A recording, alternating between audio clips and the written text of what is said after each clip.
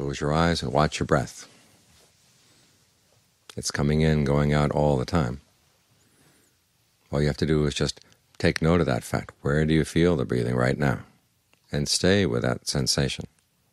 Make sure the sensation stays comfortable. If it feels tight or restricted, allow it to relax, open up a little bit. If you have trouble following it, try to breathe a little bit more strongly. Try to find a balance so that the mind and the body work together and they feel good together. There's a sense of just right.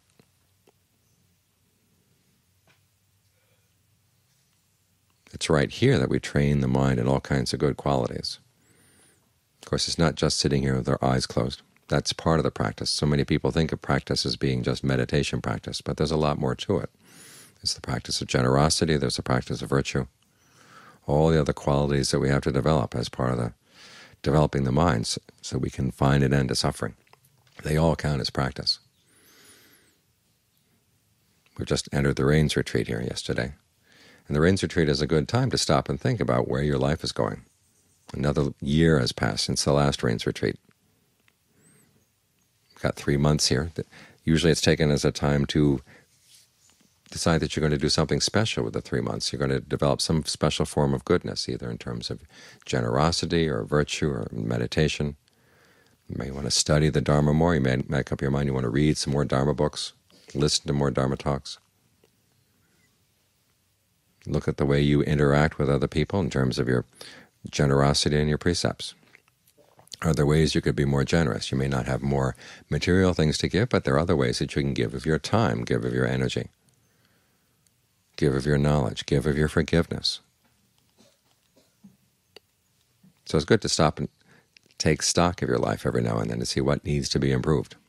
And then you can make up your mind that for the next three months you're going to try something special. After all, if someone were to ask you, are you happy enough? You'd say, well, no.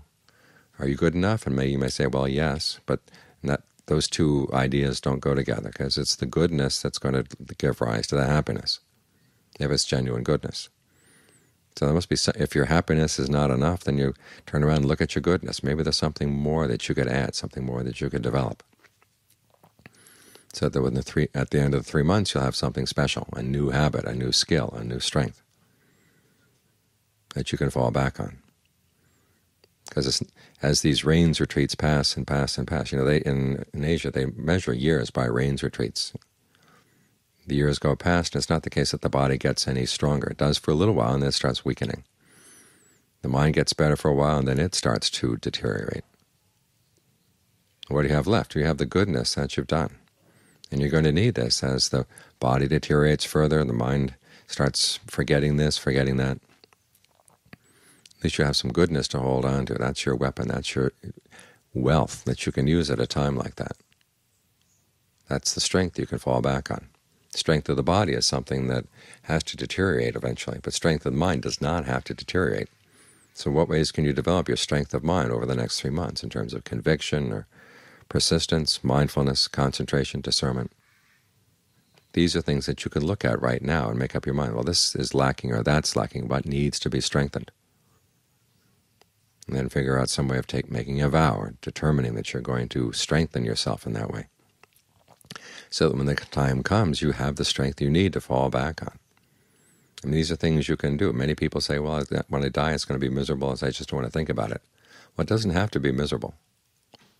Things may deteriorate in the body, but if your mind is in good shape, it's, off, it's not going to have to suffer. That's the choice you have. And so it's best right now to make the choice while you're strong and while you're healthy, while you're young, at least young enough to do this to figure out some area in your life that needs improvement. This then becomes a memorial in your life, something you can re refer back to. Okay, that was the time I got, I finally was able to overcome my tendency toward anger or overcome my tendency toward pettiness or whatever the issue is. That kind of memorial is one that's really worth building. I mean, the memorials they build in stone, sometimes it's to people who killed other people or people who did all kinds of horrible things, but they put them up in stone and pretend that they were perfect people. Well, that's not the case. The real memorial in life is the one of the goodness that you've done. Nobody else has to know, but it's something you can remember. And that memory is in itself a strength.